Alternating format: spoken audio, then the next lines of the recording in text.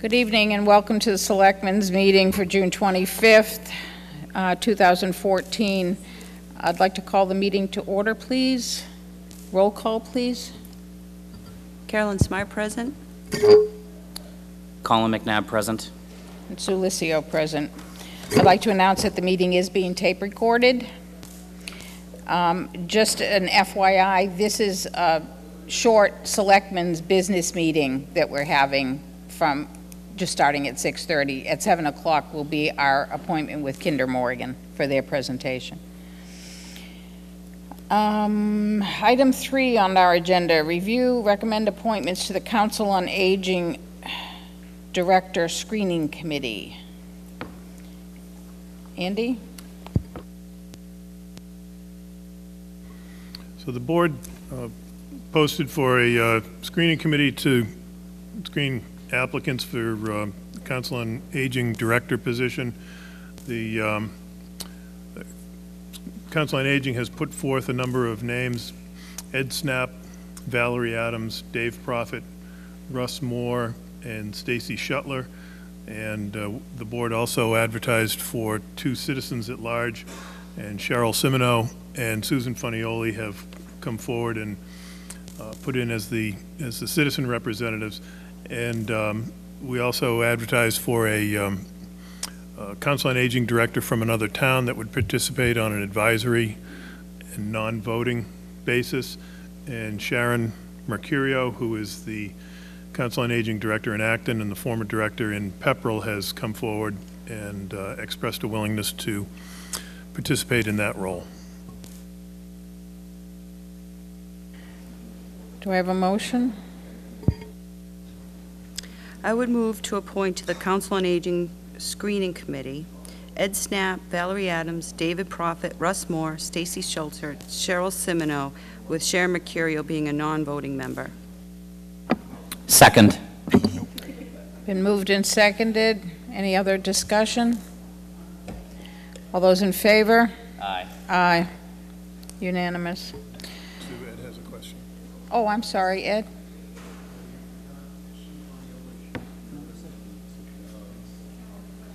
Did we include Sue? I'm sorry, could I amend the motion to include Susan Funioli? Second. Moved and seconded to amend the motion. All those in favor of the amendment? Aye. Aye. My apologies on that. We had already printed up the agenda before we uh, got Sue's volunteer response They form. caught us on the way in. I'm sorry. We should have made sure you had it too. Okay, number four, review hiring of payroll clerk. Mr. Sheehan. As we, as we talked about a couple of weeks ago, Just, hi, hi, guys, if you want to have, hello? If you want to have a conversation, could you either try to do it real quietly? It's just that this room echoes a lot and I'm getting distracted. I get distracted easily. Thank you.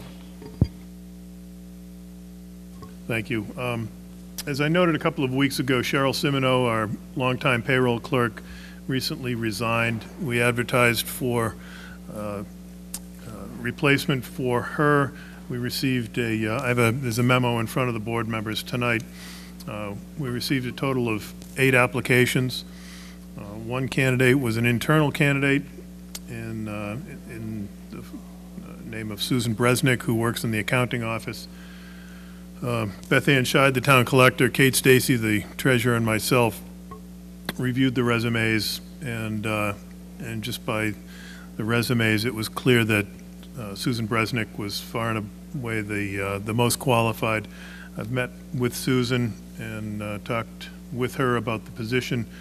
Um, She's been with us for a couple of years and, and has proven herself to be very, uh, very competent, very good employee, very hardworking.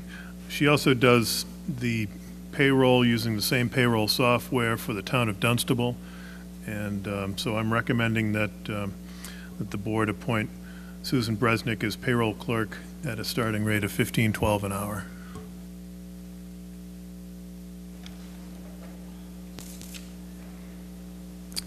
Any questions? Have we given any thought to combining the positions at all, Andy? Did you discuss that at all? We did, and, and we were, um, um, we looked at um, possibly expanding the position to uh, include collections downstairs. Um, However, with the, um, with Susan's, and, and we, and we looked at it for, um, uh, in general for this position, however, with Susan's position, um, in the accounting office, it would not be, uh, it would be a little messy to have her doing collections and, uh, and still doing accounting work. We're going to continue to look at that in the, um, in the coming months. We expect that there's going to be some more transition down in the treasurer collector's office, so I think there's going to be some more opportunity to, uh, to look at consolidation and, um, and position realignment. So we'll continue to look at that going forward, but at this time, we thought that it was better to keep it, uh, keep it pretty straightforward. The, the uh, payroll piece of it is not on Vadar, our finance software. It's a completely standalone software, so there's no, uh, there's no segregation of duties issues with the way that we're proposing right now to structure it. Well, I would move to designate the position of payroll clerk as a special municipal employee pursuant to the Conflict of Interest Law, Chapter 268A.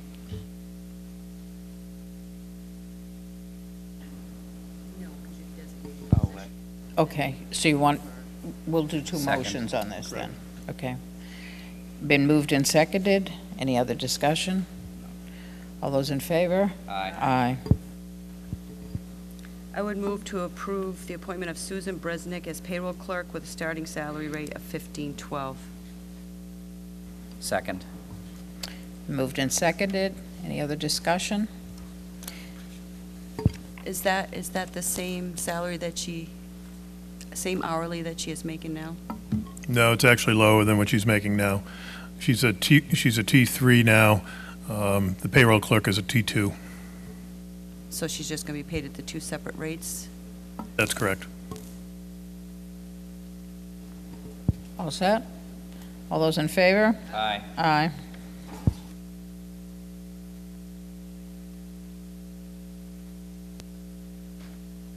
Five, review and discuss petition for special town meeting. Andy, I understand we've received um, a petition. Did we discuss it last time? We did. We did.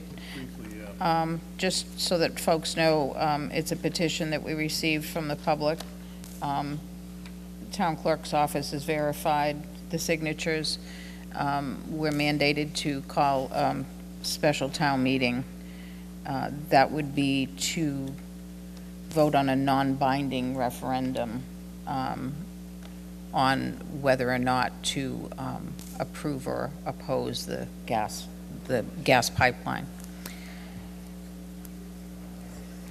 So Andy, So the, the petition came into us on, um, received in the Selectman's office on June 16th. We have, under statute, 45 days to call a special town meeting. The 45th day would be July 31st.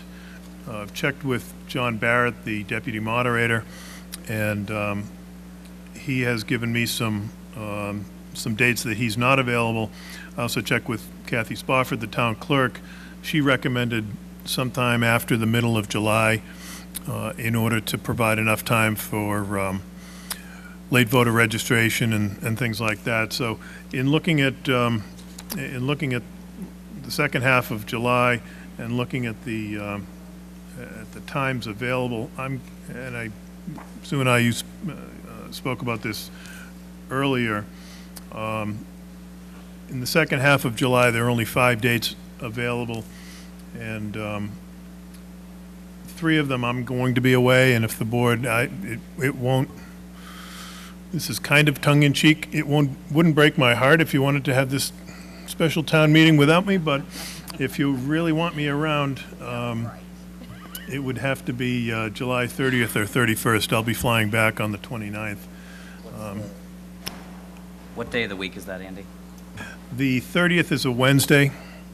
Uh, I fly back on Tuesday night. Um, I- I'd prefer not to have a town meeting on Wednesday, um, but if that's the preference of the board, I'd certainly make myself available. I'm okay with Thursday.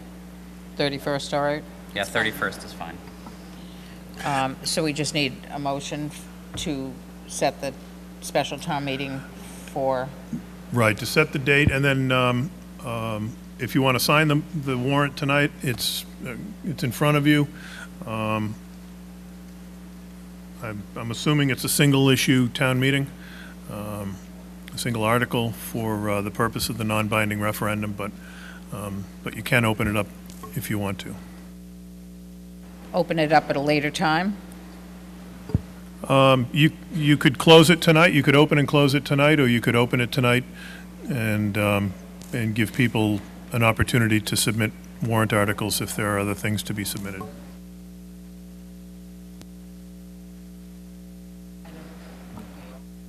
Um, Why don't we just um, move to open it, okay, and to set the, the day, okay? I would move to hold our special town meeting on July 31st, Thursday, July 31st, and to open the warrant. Second. Um, Andy, I just have one question. When would we need to close it by? Well, it, it gets muddled a, a bit in this time of year with vacations and things. Um,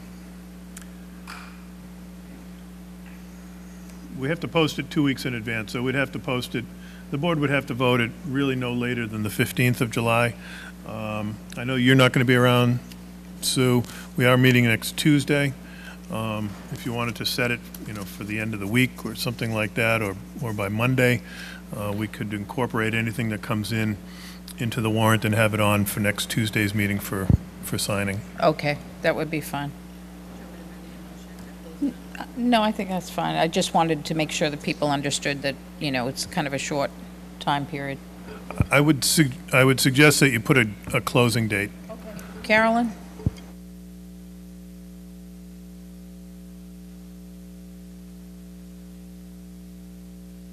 sorry, this Friday, the um,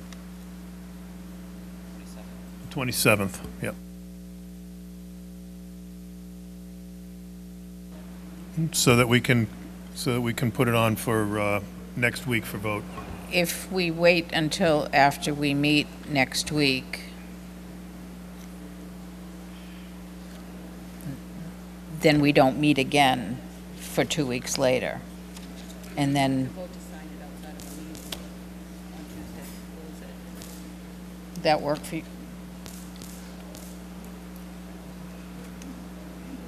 I, I thought we Yeah, you needed have to to- meet to do that. You have to have the, um, you really have to have the articles in hand to, v- before you vote. You can, you can sign it outside, but you need to know when you vote what's going to be on there. So if you did it for, you know, How about for Monday? Tuesday, 5 o'clock, or Monday, 5 o'clock. Monday, 5 o'clock? Monday- They should know. I, I, Monday the I 30th. have, I I mean, I'm almost inclined to just close it today. I feel like, all right, I know there's somebody out there talking about doing something else or, or submitting another article, so I will give them the courtesy of waiting until Monday at 5 o'clock. That's, that's how I feel. Okay, and, and from what I understand, they should know what they're doing by Monday at 5 o'clock.